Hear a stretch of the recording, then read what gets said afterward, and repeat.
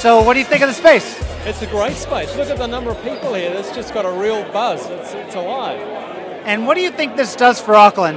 Well, I think this is uh, it's saying to Auckland, hey, we can really do clever stuff as well. And I think this is going to really set a benchmark, not only from the city, but also for New Zealand. Getting that endorsement from Minister Joyce, hearing it from the Mayor, I think this is, this is joining a lot of dots and saying, this is a fantastic precinct. Auckland really should wake up and see what this is all about.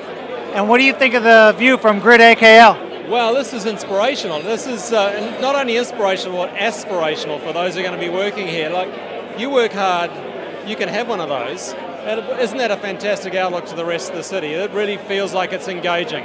Across a lovely piece of water space, the city beyond, it's really integrated really well with the city.